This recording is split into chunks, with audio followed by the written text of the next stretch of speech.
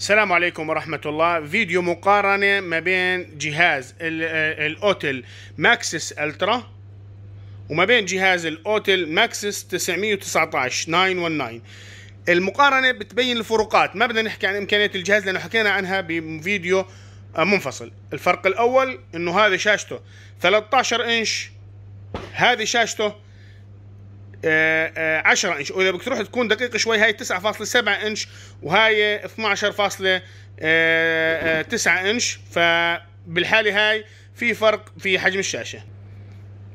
نتكلم عن الفرق الثاني حجم ال memory. الذاكرة في هاي 256 جيجا.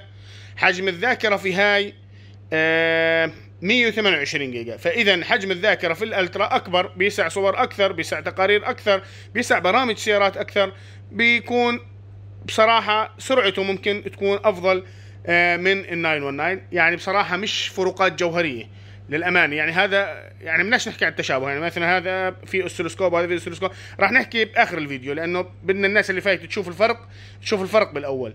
إذا حجم الشاشة تقريبا 13 إنش هنا 10 إنش.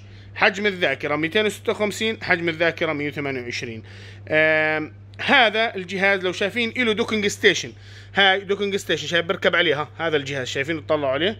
ومن تحت هيو له له له هاي اللي هي ال- ال- اللي بيشبك عن طريقه. فلما تحطه هيك أنت يعني صراحة منظره شوية يعني قدام الزبون أو اللي عنده طاولة بده يشتغل عليها. هذا ما فيش. ما إله بدك تمسكه بإيديك. ها شوف من تحت حتى ما إلهوش هيو. شوف ما إله فبدك تم بدك تمسكه بالطريقة هاي. تمام؟ هذا فرق آه كمان ما بيناتهم. الفرق الأخير اللي شفته أنا فعلا فرق يعني بيستاهل نتكلم عنه الكبسة هاي. شايفين هالكبسة هاي؟ هاي الكبسة split screen بالإنجليزي. شو يعني split screen؟ بتفصل لك الشاشة. يعني فيك تفصل الشاشة هون. حلو.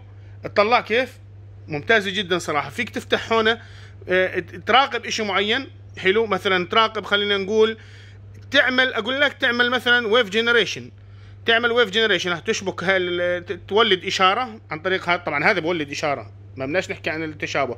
بولد إشارة بس. فتحة ال screen شوف هون فيك تولد إشارة وتراقبها من هون. يعني أنت فيك تراقب هون تفتح. طبعا إحنا بال... إحنا هسه لأنه في في الحالة الطبيعية تمام؟ ببين معنا هيك. بس إحنا بالفحص راح يكون راح يكون مختلف تماما. راح نقدر نف- نفتح شاشة هون ونفتح شاشة ثانية هون أثناء الفحص أنا بتكلم. أثناء الفحص لأنه ال- إحنا مش شابكين على السيارة. بس أنت لما تشبك على السيارة تفتح تشيك بتلاقي إنه هاي بتقدر تفتح هون تقدر تفتح شاشة ثانية هون. يعني شوف مثلا فتحت الشاشة هون بتقدر تشيك وهون بتقدر تراقب الإشارة. اذا تقدر تفتح شاشتين مع بعض لأنه حجم الشاشة فعلا كبير. فأنت قاعد بتولد إشارة معينة وبتقيسها بشكل ثاني أو بتفحص والله وقاعد بتسوي. فأنت بتقدر تشتغل آه، تشوف parameter معينة تمام؟ بينما هذا ما بتقدرش يعني شوف الكبسة هاي مش موجودة. هاي الكبسة مش موجودة شايفينها؟ آه please put this one فشوف الكبسة هاي مش موجودة نهائيا هنا. طلع هاي الكبسة مش موجودة. الكبسه صراحة يعني حلوة. هيك إنك بتراقب إشي وبتشوف بتعطيه إشارة أو بت- بتفحص قاعد وأنت بتفحص إشي ثاني على الجهة الثانية. هاي الفروقات. طبعا اللي بيحب يكمل الفيديو الآن نتكلم هيك بشكل عام يعني. هو الجهازين هذول آه، أول شيء يعني أقوى جهازين من شركة آه، Autel وأجهزة ممتازة جدا فيها خاصية ال oscilloscope عفوا. إذا قارئ الإشارات أنت بعدين في أشياء functions جاهزة. للي بده يفحص مثلا ال spark ignition مثلا يفحص آه، خلينا نقول compression test يفحص مثلا أو بداية التشغيل ال cranking يشوف عملية الكهرباء يراقب الكهرباء كاملة بالسيارة في خاصية الاسلسكوب وهذا طبعا في خاصية الاسلسكوب كشف أعطال كامل مسح أعطال كامل كل شيء فيه. آه، فحص التوبولوجي حكينا عن كل آه، واحد فيديو منفصل.